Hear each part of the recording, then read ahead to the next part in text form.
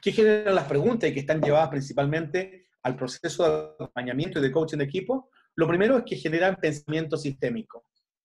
Es decir, llevan al equipo a pensar eh, como sistema desde todos los puntos de vista. Y esto es interesante porque, en definitiva, no es un solo punto de vista, sino que quiero que el equipo piense desde todas las aristas posibles.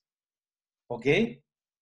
Segundo, generan, como alguien dijo por ahí, pensamiento reflexivo, es decir, hay una introspección de volver a mirarme, volver a mirarnos como equipo y a partir de eso sacar conclusiones que puedan ser importantes para ellos. Tercero, las, preguntas evocan la creatividad porque abren un mundo de, de exploración y de diseño. Y eso, es lo más relevante del tipo de preguntas que hagamos a un equipo. Que evoque la creatividad, que los lleve a un nuevo universo de trabajo, a un nuevo universo de diseño, para saber que lo que está puede ser correcto o no, para no hacer un juicio. Lo que es eh, maravilloso es que desde la creatividad lo podemos mejorar y hacer mucho, mucho mejor. Cuarto, las preguntas abren posibilidades. Hasta el minuto en que no intervengamos, el equipo viene trabajando de la mejor manera que puede trabajar, de la mejor forma posible. Y el hecho de hacer una pregunta abre nuevos caminos. No uno, pueden ser infinitos caminos de posibilidades. Cinco, ah, esto, es, eh, es importante. Y es que las, preguntas enlazan con las necesidades que el equipo tiene. No vamos a hacer cualquier pregunta. ¿Ah? Y, en ese sentido, y, aquí viene como lo relevante de las cartas, ¿no? Las preguntas de las cartas en estos tres grandes dimensiones de temas, liderazgo, comunicación y trabajo en equipo, están enlazadas con las necesidades de esos mismos ámbitos. No están enlazadas con cualquier necesidad, sino con las necesidades de transferencia que los equipos tienen. ¿Ok? Seis, nos invitan a la exploración, a poder explorar esos nuevos caminos, esa nueva creatividad que tal vez ni siquiera sabíamos que teníamos y descubrimos a alguien que es altamente creativo y que porque no habíamos tenido una conversación como la que estamos teniendo, evidentemente no habíamos podido explorar porque el día a día no se los permite. Y eso es lo importante de este tipo de intervenciones. Cuando diseñamos una intervención de dos horas, medio día, o de día completo, o de más días todavía, es que tenemos ahí un universo de exploración de nosotros hacia el equipo y del equipo mismo con ellos. ¿Ok? Siete, ah, esto es lo mejor. Es lo que a mí me gusta. Lo que más me gusta, perdón.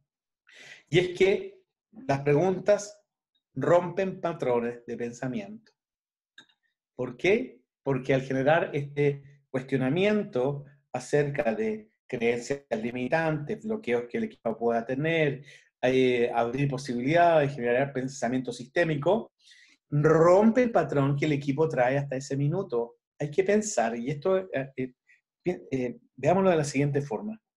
Cada persona que compone el equipo establece un patrón de pensamiento que se comparte con el resto del equipo y genera su sistema de pensamiento, su sistema de creencias. Por lo tanto, el equipo se mueve desde allí. ¿Por qué? Por una cosa muy simple. A nuestro cerebro le gusta dejar de pensar, por lo tanto, tiende a categorizar nuestra mente toda nuestra información. La categoriza y después deja de pensar para, para utilizar su energía en, en, otros, eh, en otras operaciones. Entonces, desde allí es que la pregunta rompe el patrón. Ese patrón que el equipo trae, porque no se ha hecho esta pregunta, que es, y yo siempre digo que las preguntas son como una bomba, ¿no? La pregunta cae dentro del equipo, ¡pum!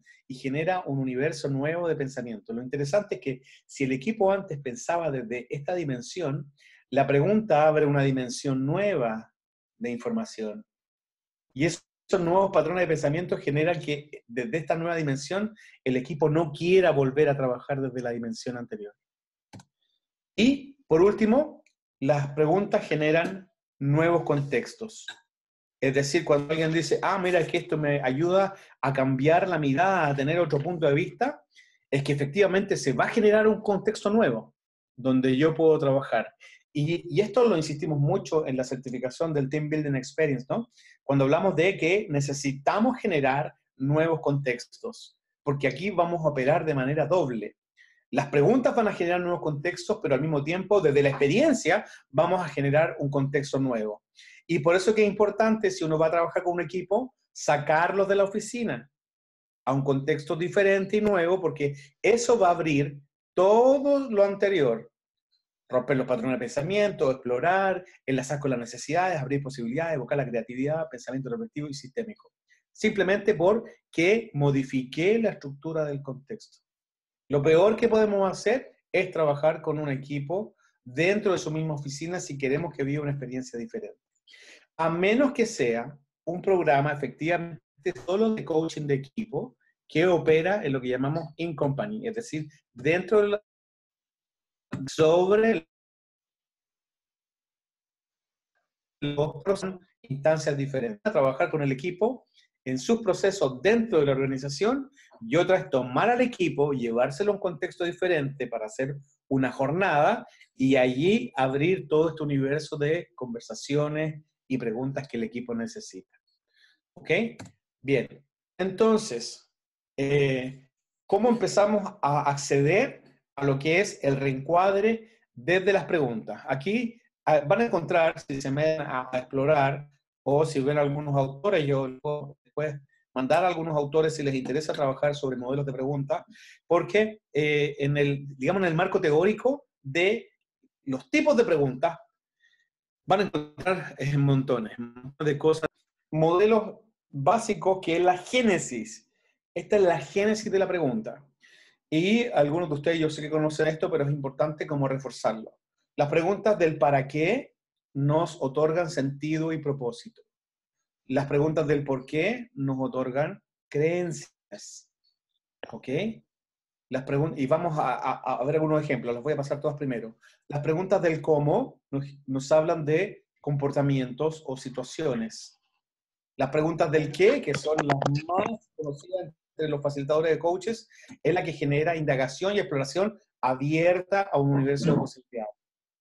Las preguntas del cuándo son de tiempo y espacio. Y las preguntas del quién o quiénes nos hablan de la participación de otros en experiencias determinadas. Y por último, del cuál o cuáles son indicativas de situaciones específicas. Por ejemplo, si nos preguntamos y vamos y vamos a utilizarlas todas con el mismo ejemplo, sobre algo que es muy común.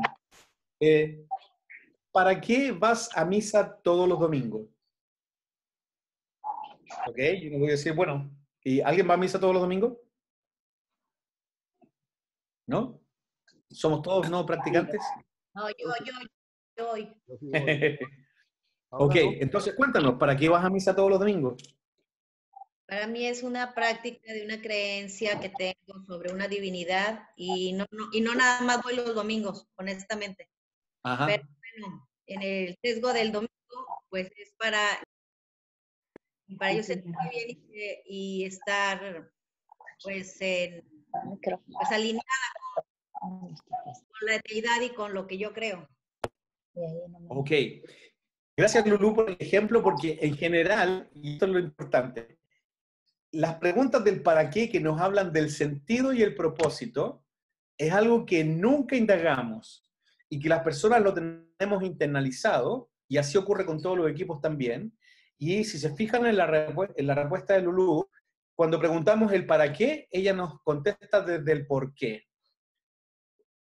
Porque en general lo que ocurre es que tenemos asociado el para qué a una creencia que es poderosa. Y si se fijan y empezamos a hacer la distinción, y ahora Lulú va a hacer el ejercicio internamente, porque el para qué tiene que ver con el sentido y el propósito, es decir, ¿para qué voy a, misa todos los días o los días que voy o domingo a domingo? Porque tengo un sentido y un propósito con ello, que tiene que ver conmigo o tiene que ver conmigo y otros. Ahora, si le preguntamos a ella por qué va a misa, nos va a decir porque tiene una creencia poderosa en un ser superior que de alguna forma le otorga ciertas cosas a ella, que está arraigada en sus necesidades personales. No vamos a indagar en cuáles porque no, no, no viene a caso, ¿no? Lo importante es e, entender que estas ya dos preguntas iniciales, el para qué, siempre nos van a conectar con el sentido del propósito. Uno podría pensar, y voy a utilizar el ejemplo de Lourdes, aunque no sé si es así o no, uno me decía, voy para, para conectarme con Dios, simplemente. Voy para estar tranquilo, voy para obtener calma, voy a misa todos los domingos para, eh, podría decir, para encontrarme con otros voy a, misa todos los domingos para hablar de Dios. Y detrás de eso está el porqué. ¿Ok? Porque eso me otorga cosas que tienen que ver con mi creencia en algo superior. ¿Ok? Bien, entonces vamos a la tercera pregunta que tiene que ver con el cómo. ¿Cómo ocurre esto cuando vas a misa todos los domingos? ¿Qué eh, haces? lo que hago para estar ahí? Ah, que me levanto, me decido estar en ayunas, voy, estoy en silencio cuando estoy ahí, al terminar saludo a algunas personas y ya. Perfecto. Fíjate que en ese cómo, y aquí hay algo que es muy eh, interesante desde el punto de vista de las conductas, es que los cómo tienen acciones específicas que son una receta. Esto que acaba de decir Lu eh, es de la misma manera todas las veces que va a misa. Debe tener ciertas variaciones, pero la estructura del Z general es la misma. ¿Por qué? Porque establece todas las acciones que vamos a seguir para hacer eso que queremos hacer. Y aquí hay algo que es eh, importante porque cuando hablamos de los equipos, necesitamos saber el cómo lo han hecho antes para ver si tuvieron éxito el cómo lo hacen hoy, que tal vez no está teniendo resultados, y el cómo necesitamos que lo hagan o ellos necesitan hacerlo en el futuro para que sí tengan éxito. Entonces, fíjense, estoy esperando, eh, perdón, esperando, operando en esas tres dimensiones de tiempo. ¿Cómo lo hicimos en el pasado? ¿Hay alguna en la que tuvimos éxito o no? ¿Cómo lo estamos haciendo ahora? ¿Cómo queremos hacerlo en el futuro? y me muevo en esas tres dimensiones. El proceso de coaching principalmente trabaja desde el presente hacia el futuro, por lo tanto, el cómo lo hicieron en el pasado es simplemente información, dato, que me ayuda a entender cómo lo están haciendo hoy. Pero a mí me interesa el cómo lo van a hacer mañana para que se genere transformación. Por lo tanto, el coaching opera desde el presente hacia el futuro. A diferencia de la terapia que opera desde el presente hacia el pasado. E identifica mi estado actual a partir de lo que vivía hacia atrás. Y desde allí establece eh, la, transformación hacia adelante. Desde el coaching, y, y, hay una distinción con la terapia, ¿no? Que el coaching trabaja con personas que no tienen problemas. Eh, se supone, no tienen problemas. ¿Ok? Con personas sanas. Si no es un trabajo terapéutico que opera de una forma distinta. ¿Ok? Bien. ¿El qué? Ah, mira, mira. Aquí hay muchas preguntas para, para Lulu. ¿Qué haces cuando vas a misa? No nos cuentes, no nos cuentes, si no es necesario, para no entrar en tu vida como más íntima. Ok. ¿Qué te gustaría hacer a partir de ir a misa? ¿Qué es lo valioso para ti de ir a misa? Fíjense que las preguntas del qué abren universos de preguntas. ¿Qué es lo mejor de ir a misa? ¿Qué, tal vez es lo que no es tan bueno? ¿Qué te gustaría cambiar de la misa que no te parece? ¿Qué ha sido lo más significativo que has vivido en una misa? ¿Ok? Las preguntas del qué son de indagación y exploración. Uno puede obtener muchísima, muchísima información. ¿Ok? Bien. ¿Desde cuándo que vas a misa? no nos respondas, Luz, ya, ya salimos, tomamos tu ejemplo para partir, pero ya. ¿Desde cuándo? Ah, eh, ¿con quiénes vas? ¿Y cuáles son los mejores momentos de la misa para ti? Fíjense, y si llevo esto a la dimensión del equipo, bueno, cuéntenme, ¿para qué quieren mejorar? ¿Por qué quieren mejorar? ¿Cómo quieren mejorar? ¿Qué es aquello que quieren mejorar? ¿Qué les gustaría lograr? ¿Qué tipo de equipo quieren ser? ¿En cuándo? Ahí debía decir cuándo y cuánto, ¿no? ¿En cuánto tiempo? ¿Cuándo? ¿En tres meses? ¿En seis meses? ¿Quiénes van a ser parte de este proceso de mejoramiento? ¿Y cuáles van a ser las variables de éxito de ese proceso de mejoramiento? Fíjense, siete dimensiones de preguntas para un equipo que nos va a otorgar muchísima, muchísima información. Entonces quiero, quisiera más bien, no es una orden, quisiera que cada uno anote ahí en su cuaderno una pregunta de cada una de estas para un equipo específico con el que les ha tocado trabajar o con el que creen que podrían trabajar. ¿Ok? Siete preguntas de cada una de estas dimensiones. ¿Ok? A partir de ahora, ya.